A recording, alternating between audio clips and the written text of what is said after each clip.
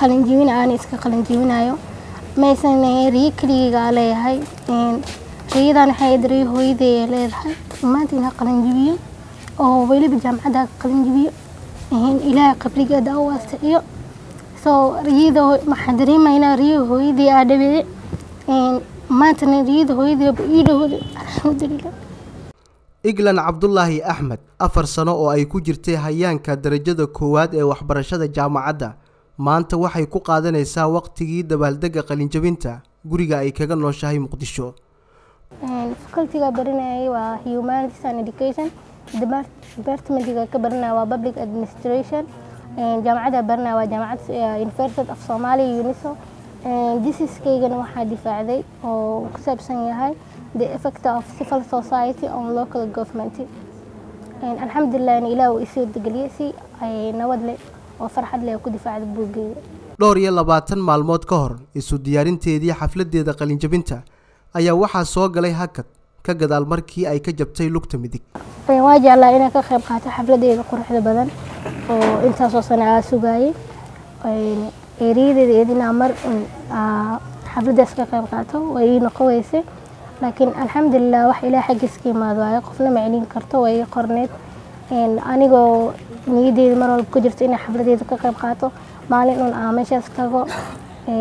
Isdhaha aa dareemayo maanta qof qalan oo waxbarashada heerkeedii koowaad ayaa gudubta anaa dareema anoo diyaar u ah dhaawac yara isoo gaaray lugta ka jabay. Maalmo ka hor inta anoo isku diyaarinayo inaan ka qayb qaato xafladeeda laakiin way ii suurtageli weysay england waxay ahayd gabar si aad ah looga jecel yahay kuliyaddii ay ka dhiganaysay jaamacadda soomaaliya. Qaar ka mid ah ardaydii ay isku dufcadda ahaayeen oo ka soo baxay halkii ay ka dhacaysay xafladda ee national theater ayaa booqday guriga england ay kaga nooshahay muqdisho iyaga oo la qaybsanaya farxadda qalinjabinta safarkooda waxbarasho. Runtii england waxay ahayd qof aada u wanaagsan dabci wanaagsan dadaal badan. Runtii buuggeediisa qurux badan u difaacatay rajo wanaagsan nolosha ka lahayd hankeeduna sarreeyey. Marka maqaadir ilaah ama waxaa qornaatay in maaragtay xalfadeedii ay intaas ku taamaysay aysan ka soo qaybgelin oo u qorneed. Marka shil yar ama ay gashay ama inay dhacday lugta ka jabtay.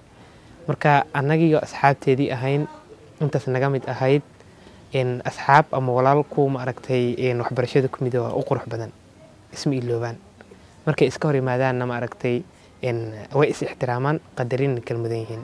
Marka walaasheen annagoo ixtiraam qadarin sharaf u heyno aan maaragtay maantii maantayta oo ku beegneed labaatan iyo shanta agoosto labada kun labaatan iyo kowda waxay ahayd maalinka maaragtay qalinjibinteenii magacayga waa naciimo cabdulaahi maxamed waxaa ku sugan hadda guriga walaashii eglan cabdulaahi eglan cabdulaahi axmed.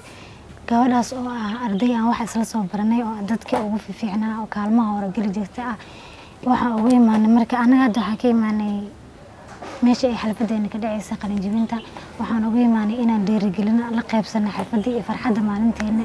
Aan haatan ku suganahay xaafadda walaasheen eglan oo aan isla soo soo baranaynay aan isku baranay goob waxbarasho aan in muddaa wax iskula soo baranaynay oo ka mid aheeda ardayda aan wax isla soo baranaynay kuwood ugu firfircoonay oo kaalmaha hore ardayda sheegaya markaas fasalada u geli jiray.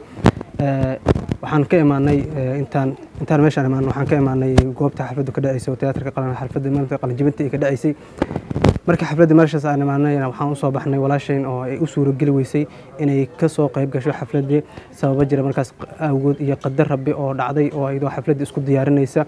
Markii ay buuggeeda difaacatay exaamkeeda ay gashay iyadoo u diyaargaroobaysa inay xafladdeeda markaas ay intaas muddadaas ay ku soo taamaysay wax soo baranaysay ay ku soo taamaysay inay maalintaas ay soo gaari doonto hadday nabad tahay ay u suurtageli weysay qadarta oo ay lug wax ay ka gaareen ilaahay oo caafiyo. Maamuus gaar ah ayay kaga dhigneed england maanta balse waxa ay tiiraayoonaysaa hooyadeed iyo walaalkeed ka yar oo ay ku weysay qaraxii ismidaaminta ahaa ee muqdisho mool ka dhacay afartii februari laba kun sagaal iyo toban. Waxaana ay aaminsan tahay in ay ka dhabaysay mid ka mid ah himilooyinkii hooyadeed doonaysay.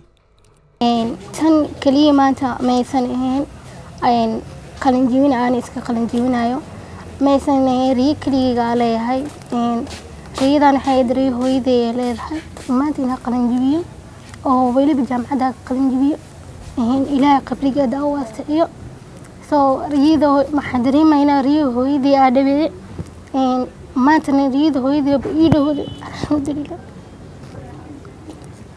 iyadana ilaah waxaa ugu baryaa jannatul iyo qabrigeed inuu ilaah u waasiciyo england oo qalbijabkeedii koowaad weli dareemaysa maantana sheegtay dabaaldegeedii xafladeedii qalinjabinta ayaa weli waxay aaminsan tahay in ay gaari karto guulo kale oo wax ku ool ah. Ani waxaan ahay gabar gabar waxbarataan ahay oo mustaqbal iyo hadaf weyn leh inay gaarto. Waxaan ahay gabar curad ah oo family curad oo ah. Marka waxaa rajeynaya aniga hadda intaasoo sanaa wax soo baranayay. Marka waalidkay inaan neysiyo ani markayga shaqaysto meel isku soo saaro. Waxbarashadii heerka labaad ilaa b h d na inaa isgaarsiiyo cidna u baahan zakariya axmed muuse t v-ga shabeelle muqdisho